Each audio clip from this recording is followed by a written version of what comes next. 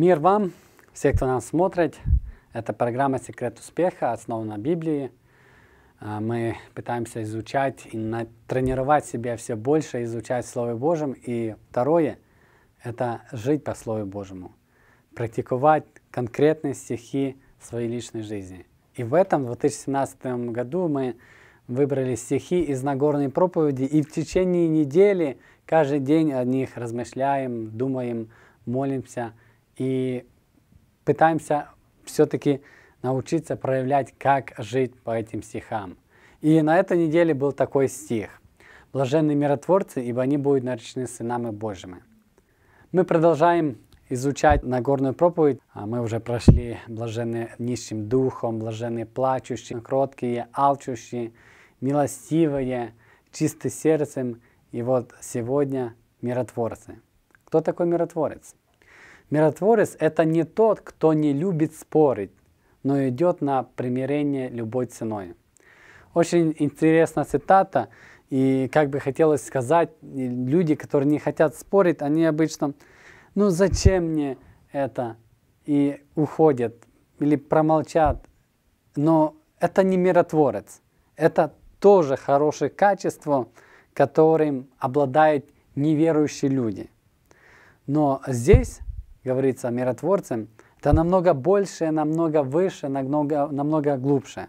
И когда я читал эту главу доктора Мартина, я выписал три э, момента, где и как поступает миротворец. Первый, миротворец сдерживает свой язык. Мы знаем, это много записано в Библии, особенно Якова. Это миротворец, это кажется намного просто, но на самом деле это тяжело. Вот промолчать или не торопиться отвечать. И если бы мы это делали в церкви, намного меньше или намного больше было бы миру. Если мы это делали в семье, намного больше было бы миру. Если бы это делалось в государстве, намного больше было бы миру. И это миротворец. И это тяжело для каждого из нас, независимо в каком вы возрасте, независимо каком мы положении. Первый, я должен научиться воздерживать свой язык. Второе, воздерживать, но также есть время, когда надо говорить. Когда надо говорить, когда нас спрашивают, когда видишь, что делается грех, надо что-то сказать. Слово Божие говорит, когда делается грех, надо предупредить. Но думать, что говорить, очень важно. Думать, что говорить. Не торопясь, но когда спрашивают, говорить. Миротворец – это не только что сдерживает свой язык и молчит. Делается беззаконие, он молчит. Но миротворец, он говорит, но думает, что говорит. И третье. Он ищет все возможности, как посеять мир. Вот что говорит, и он ищет все возможности. Это возможности может быть разные, зависимо какой мы сферы, что мы делаем. Но возможность, почему нам надо сеять мир, просто сеять. Почему это слово здесь подобрано? Потому что это ты сеешь, то есть сразу плодов ты не видишь. Оно когда-то вырастет. Возможно, даже нас там не будет. Но вот когда мы посеяли мир, а не вражду, и оно принесет плод. Как сеять мир? Если привести пример, то я бы сказал бы так. Представим, что мы в школе, школьники, и э, одноклассники мои ссорятся. Они не могут что-то поделить, что-то помирить между собой. Я как миротворец, по обычно не христианский миротворец, просто не участвую в этом, стою на стороне. Это хорошо. Но человек миротворец. Он видит эту ситуацию и пытается как-то поучаствовать, как-то решить, чтобы они перестали ссориться, что-то сказать. Но не только это, ему надо посеять мир, что-то вложить туда, в ту сейчас бурю, чтобы возрос мир. Возможно, он скажет, что, слушайте, и ты там не виноват, и ты там не виноват. Но там вы, вы представляете, что ты прав, и ты прав. но есть намного глубже, какая там вина. И сказать, если вы э, успокоитесь, я знаю эту вину, и я могу рассказать вам, поделиться. Хоть на несколько секунд они подумают, о чем ты говоришь, ты вообще там не был. И они успокоятся. Но если дадут они шанс, то можно сказать, Петя, Ваня, вы на самом деле хорошие люди. Вы на самом деле хорошие люди. Но есть грех. Грех, который заставляет вас сделать, обзывать друг друга, пить друг друга. И Ваня, он неплохой парень, но в Ване есть грех. И то, что ты сейчас Ваню а, обговариваешь, стукаешь, он не изменится, он не станет лучшим.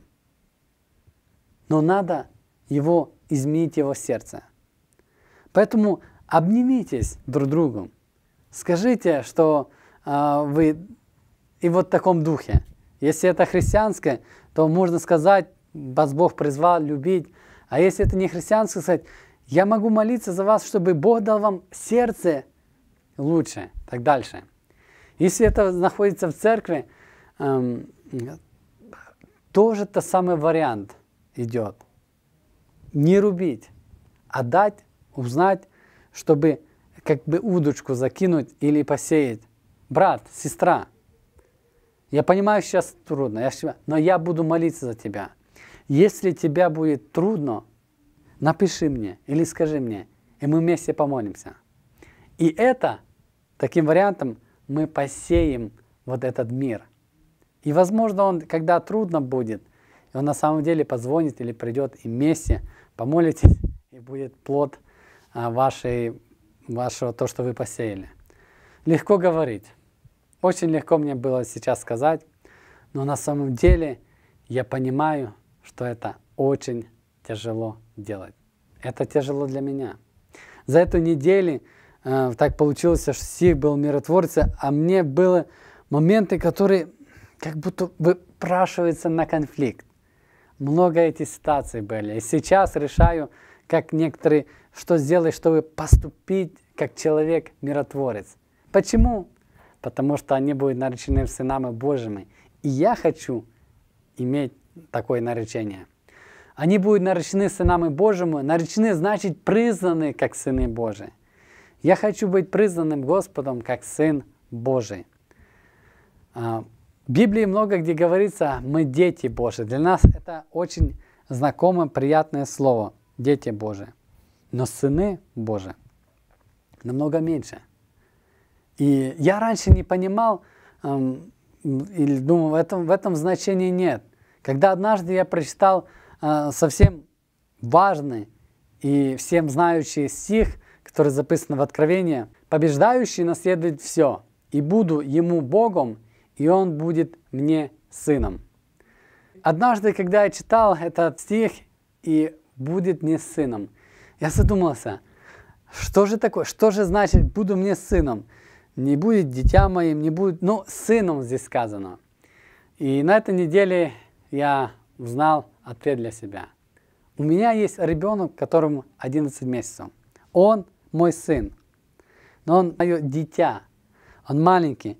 А, часто в студии, даже в данный момент, он шум создает.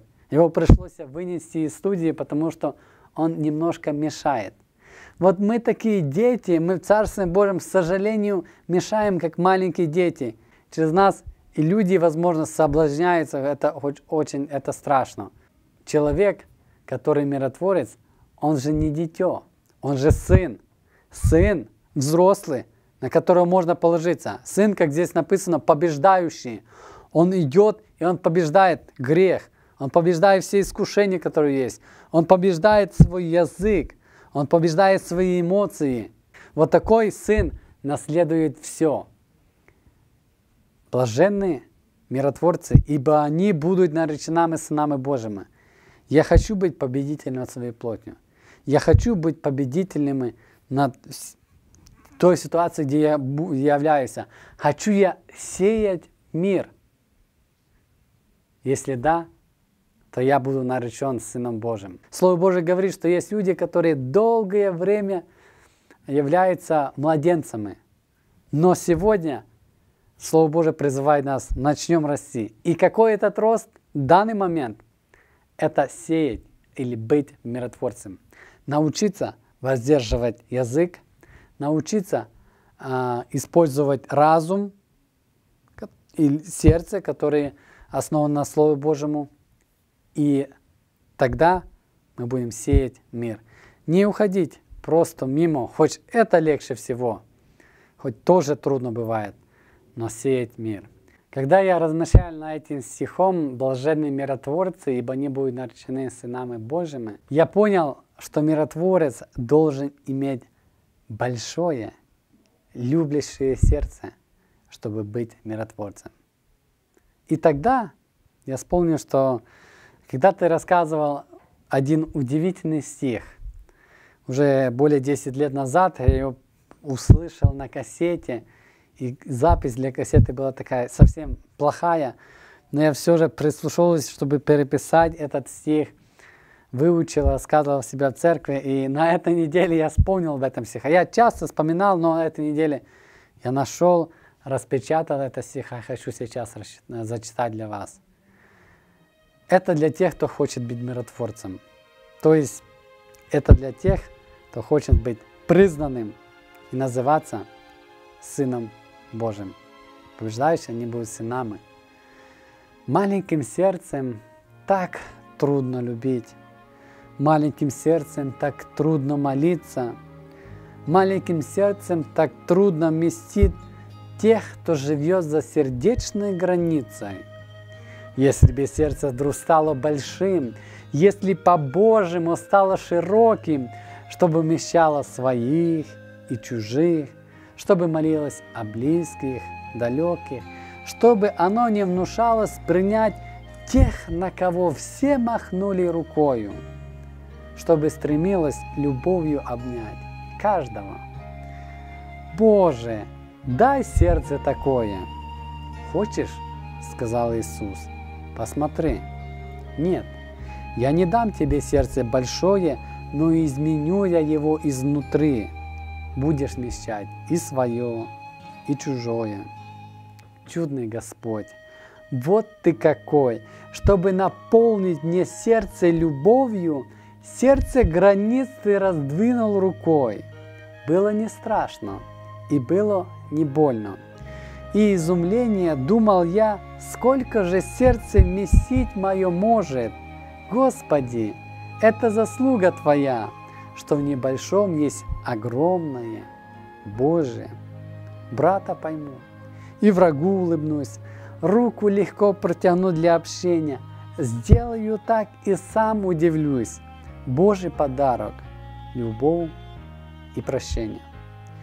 Если же сердце сужается вновь, чувствую сразу себя неуютно. Взгляд на Иисуса и в сердце любовь Нужно смотреть на Христа поминутно, маленьким сердцем. Так трудно любить. Маленьким сердцем так трудно молиться. Хочешь ли ты Иисуса проси, чтобы Он в сердце раздвинул границы? И на самом деле я осознал на этой неделе, что мне надо просить Иисуса, чтобы Он в сердце раздвинул границы. Мы не сможем молчать или воздерживать свой язык.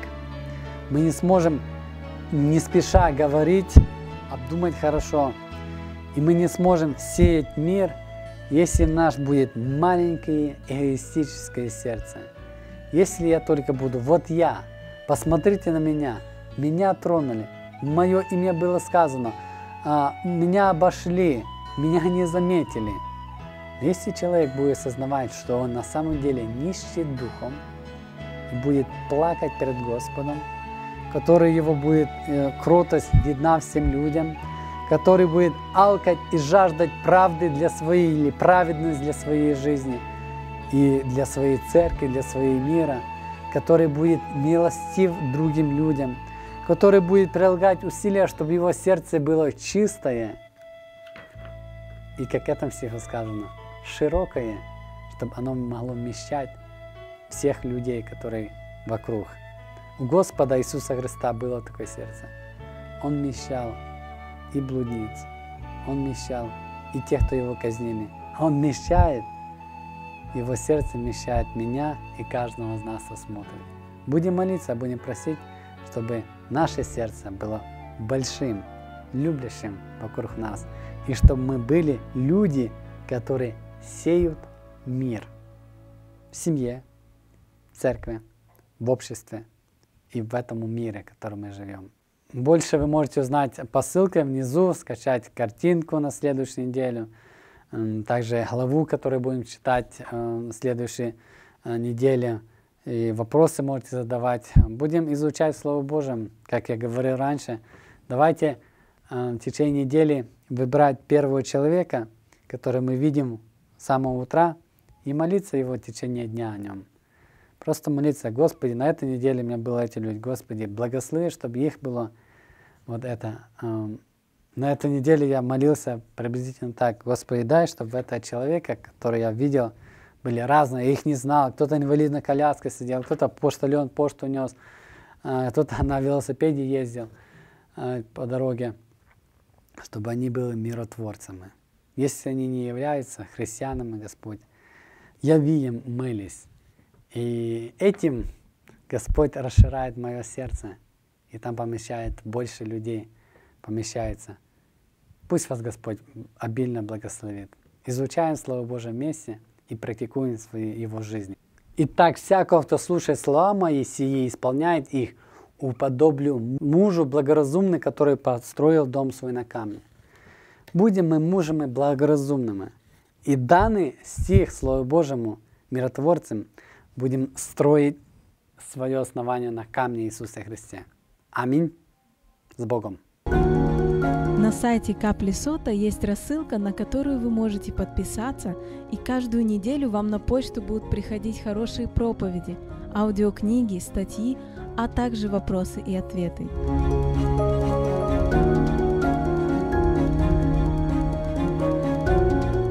Верим, что этот сайт может стать для вас хорошим источником для духовной пищи.